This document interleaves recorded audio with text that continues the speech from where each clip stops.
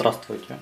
Хочу вам рассказать и показать про вот такой вот электронный конструктор знаток на 180 схем. Этот конструктор рекомендуется, так сказать, людям от 5 до 55 лет. Вот. Его рекомендует всеми известный Андрей Бахметьев, знаменитый очумелец. Вот. В комплект у нас идет вот такая вот инструкция весьма подробная. Тут идут принципиальные схемы, объяснения. Ну, 180 схем это конечно, громко сказано, потому что из того, что я прочитал, то есть многие схемы заключаются в том, что меняется звук. Там есть звукогенератор, и, допустим, там звук Звездных войн, звук пулемета. То есть схема одна, меняется только звук, и это считается уже другая схема. Вот. Собственно, вот сам комплект на 180 схем. Вот, в комплект он закрыт пленочкой.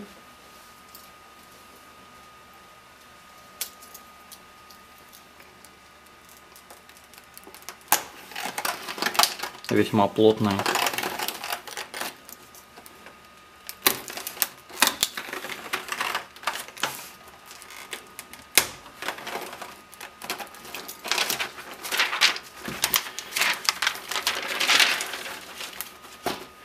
Комплект вот входит плита, на которой собираются все эти конструкции. Это прозрачный пластик, можно сказать, хорошего качества. Вот. Потом проводники разной длины. Тут прям вот видно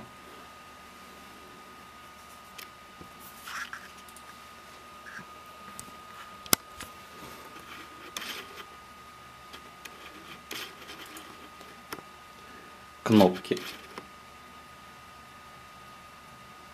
Собственно, это и есть такое вот соединение. Кнопки от одежды. Но в этом и заключается вся оригинальность, что схему не нужно паять. То есть ее может собрать ребенок 5 лет. Вот. Значит, проводники разной длины. Вот элементы питания, в которые вставляются батарейки, они закрыты. То есть батарейка вставилась и закрылась крышечкой.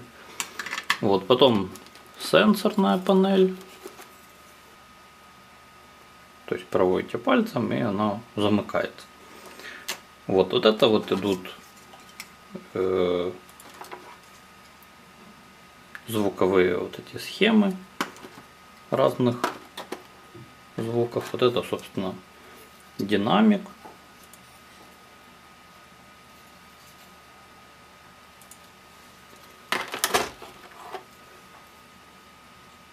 Гнездо для вкручивания лампочки. Красный светодиод. Ага, это фоторезистор. То есть резистор, который реагирует на свет. Закрыли, цепь замкнулась или посветили цепь замкнулась. Еще не знаю. Вот, потом у нас идет, значит, выключатель, замыкатель, по-научному кнопочный выключатель.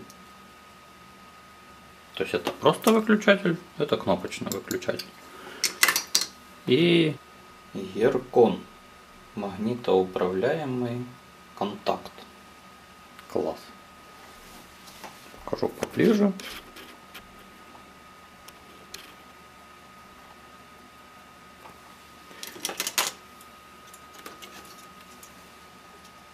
Вот это у нас идет пьезоус... пьезоизлучатель. Пьезоизлучатель.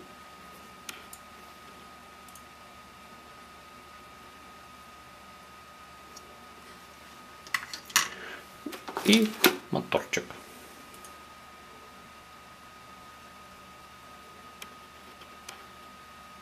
Моторчик и вот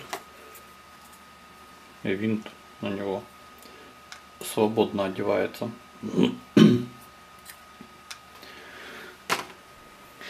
Так, попробуем собрать простую схемку с летающим пропеллером.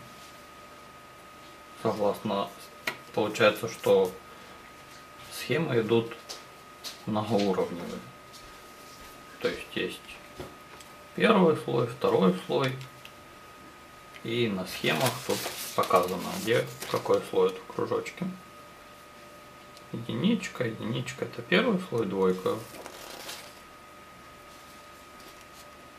Второй слой и так далее. Вот. Все эти элементы вот так вот прищелкиваются. Согласно рекомендациям нужно давить по бокам, а не в середину, чтобы не сломалась вот. Тут у нас идет кнопка. Два элемента питания. И электромотор. Схема называется летающий пропеллер и полярность.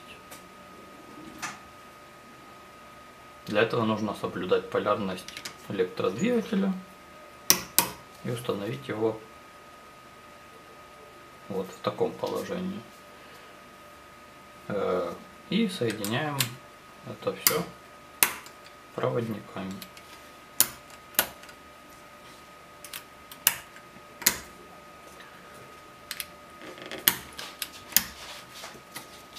Согласно эксперименту, пропеллер должен взлететь.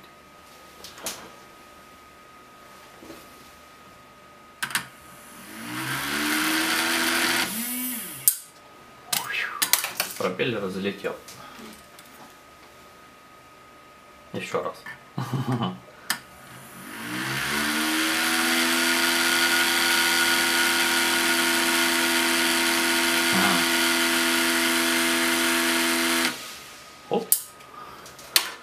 Надо отпустить, отпустить кнопку. Понравилось.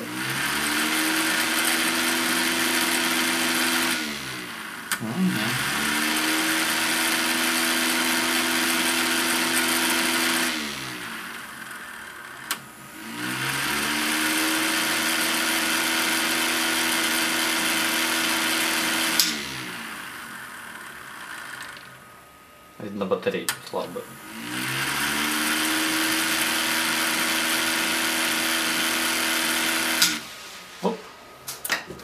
Да, батарейки надо помощнее.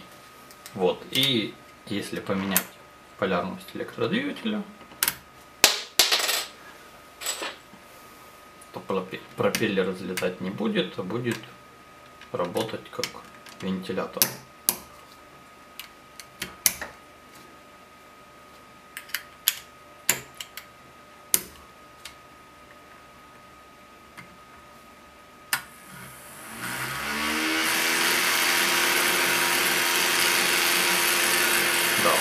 Вверх.